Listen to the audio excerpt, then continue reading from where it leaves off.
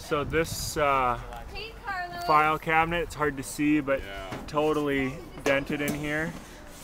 Completely, probably an inch, inch and a half.